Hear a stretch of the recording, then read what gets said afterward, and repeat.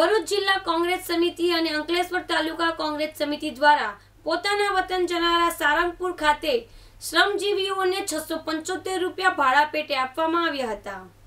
Corona મહામારીમાં પોતાના વતન જવા માટે અફરાતફરી માહોલ જોવા મળી રહ્યો છે. ત્યારે ગરીબ કામદારોને ભારે કોંગ્રેસના રાષ્ટ્રીય અધ્યક્ષ સોનિયા ગાંધીએ જાહેરાત કરી હતી કે જે પણ કામદાર પોતાના વતન જવા માંગતા હોય તેમને કોંગ્રેસ પાર્ટી ટ્રેનનું ભાડું આપશે, જેને લઈ અંકલેશ્વરની આજુબાજુ રહેતા પરપ્રાંતિય કામદારો અને શ્રમિકોને કોંગ્રેસ સમિતિ દ્વારા આજરોજ સારંગપુર સહિતના વિસ્તારોમાં કામદારોને સાતસો રૂપિયા ભાડું અપાયું હતું.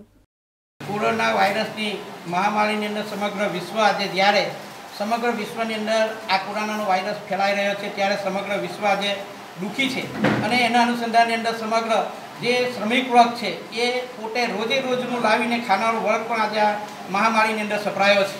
ત્યારે તેઓ પોતાના વતનની અંદર જવા માટે તત્પર બન્યા છે અને વતનમાં જવા માટે આજે જ્યારે કોઈ ટ્રેન અને બસ મારફતે જવાની વ્યવસ્થા સરકાર દ્વારા ન કરતા અને સરકાર દ્વારા એમને પોતાના વતનની અંદર જવા માટે કોઈ નાણાકીય વ્યવસ્થા, ભાડાની વ્યવસ્થા ન કરતા, અમારા રાષ્ટ્રીય અધ્યક્ષા શ્રીમતી સોનિયા ગાંધીજીએ એમને જવા માટે વતનની અંદર જવા માટે, ટ્રેન કે બસનું ભાડું આપવા માટેની જાહેરાત કરી છે. અને એના અનુસંધાનની અંદર અમારા રાષ્ટ્રીય નેતા આદરણીય અમરભાઈ પટેલ સાહેબના માર્ગદર્શન હેઠળ ભરૂચ જિલ્લા કોંગ્રેસ સમિતિ અને તાલુકા કોંગ્રેસ સમિતિ દ્વારા આજે સારંગપુરની અંદરથી કાલે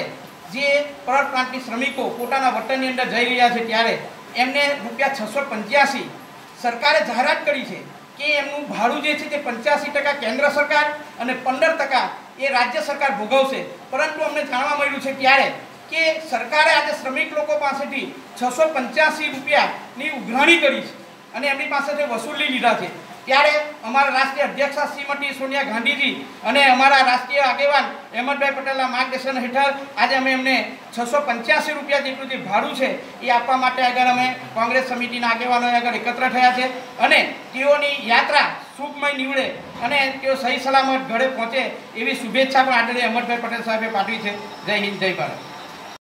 ભરૂચ જિલ્લા કોંગ્રેસ સમિતિના મગનભાઈ પટેલે વધુમાં જણાવ્યું હતું કે, આપણા રાષ્ટ્રીય અધ્યક્ષ સોનિયા ગાંધીને આ કારણે જાહેરાતના અનુસાધનને ભરૂચના પનોતા પુત્ર અહેમદ પટેલના માર્ગદર્શન હેઠળ ભરૂચ જિલ્લા કોંગ્રેસ સમિતિ અને અંકલેશ્વર તાલુકા કોંગ્રેસ સમિતિ દ્વારા શ્રમિકોને તાત્કાલિક ધોરણે મદદ કરવામાં આવી રહી છે જેના કારણે જે શ્રમિકોને પોતાના માદરે વતન જવું હોય તેવા શ્રમિકોને બસ અને ટ્રેનનું ભાડું આપીને આવી વિપદા પરિસ્થિતિમાં ઉગારવાનો પ્રયાસ હાથ ધરવામાં આવ્યો હતો मैं यहाँ पर बहुत मुसीबत में फंसा हुआ हूँ नौकरी चाकरी मेरा छूट गया है मैं बहुत खाने खाने के लिए मैं बहुत परेशान हूँ यहाँ के सरपंच यहाँ के कांग्रेस के नेता, विधायक जो भी हैं, हम लोग को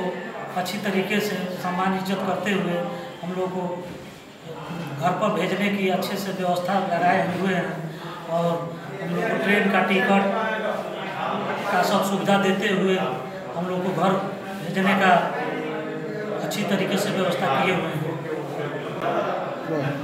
सोनिया गांधी और अमर पटेल जी की बहुत इसमें अच्छा भूमिका है। इसके लिए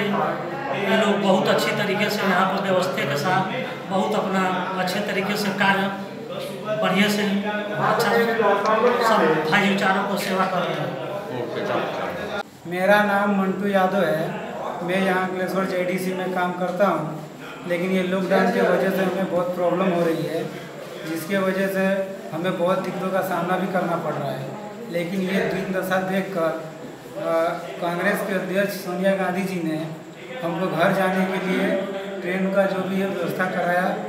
और इसके लिए हम उनका और पैसे का भी इंतज़ाम कराया और इसके लिए हम उनके आभार व्यक्त करते हैं।